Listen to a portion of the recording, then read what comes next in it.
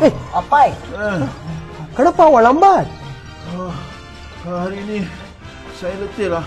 Ah, saya berjalan dari rumah tadi. Ah, alah, awak Ai. nampak letih. Kenapa? Ha, ayah awak tak hantar awak ke? hari ini ayah saya pergi ke Jakwal. Dia ada hal penting di pejabat. Oh, macam tu. Ah, Ha, duduklah Apai. Rehat sekejap dulu. Ya. Ha. ah, seronok eh. Kalau jadi orang dewasa, boleh bawa kereta sendiri. Hmm. Eh, kenapa awak cakap macam tu? Ah, Ha. Awak Oh, rehatlah dulu, awak penat tu. Nanti saya siapkan. yalah, yalah. oh saya rasa pun saya mau beli satu kereta sendirilah bila saya besar nanti. Oh, awak nak beli kereta apa nanti? Proton saga. Oh, Proton Saga. Proton Saga bagus kereta Malaysia. Ha. Malaysia. Ha, dah siap dah.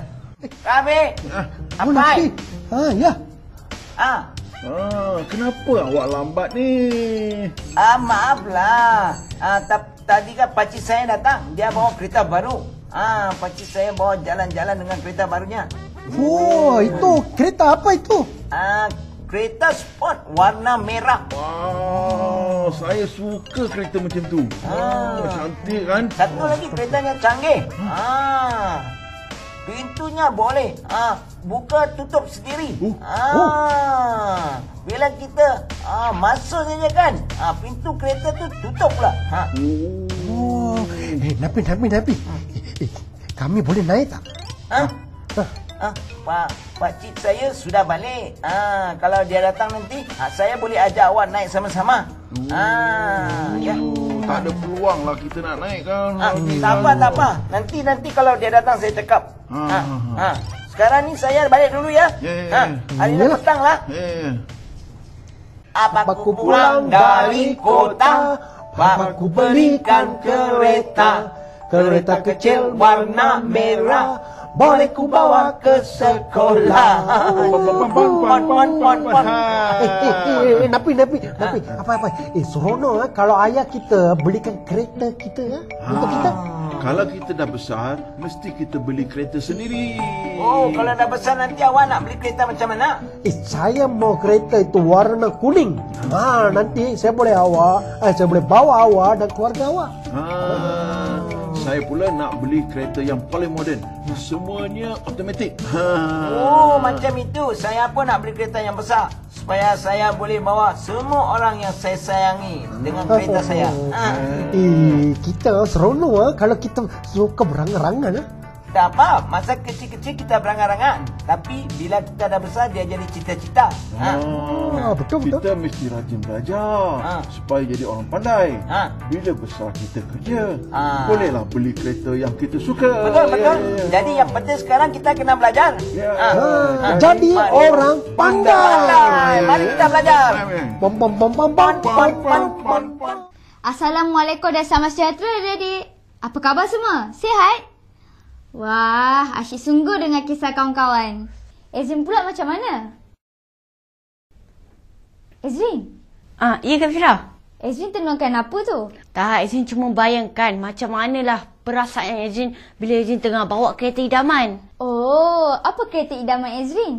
Oh, Ezrin suka Ferrari. Kak Fira pula? Kak Fira suka Porsche. Hmm. Kak Fira, kenapa kenderaan ni penting kepada kita? Kenderaan ni penting, ia memudahkan perjalanan kita dari satu tempat ke satu tempat yang lain. Takkanlah nak balik kampung jalan kaki. Ya tak ya juga kan? Di Malaysia ni ada pelbagai jenis kenderaan. Contohnya bas, teksi dan LRT. Semuanya memudahkan perjalanan kita. Ha, sekarang ni apa kata kita ke SKAU Kramat untuk melihat binaan kereta idamanku. Jom.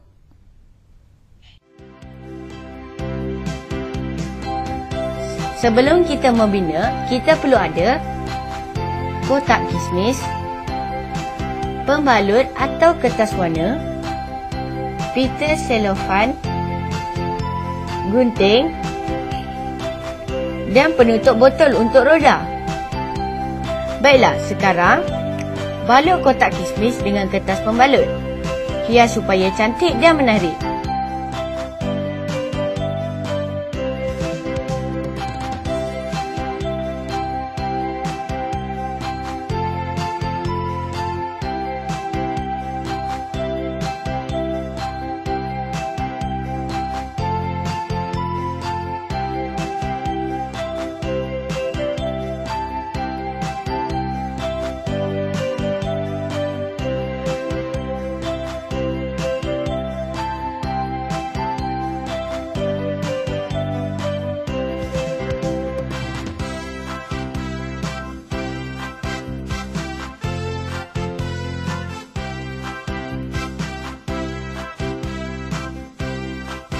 Lekatkan roda pada kereta tersebut.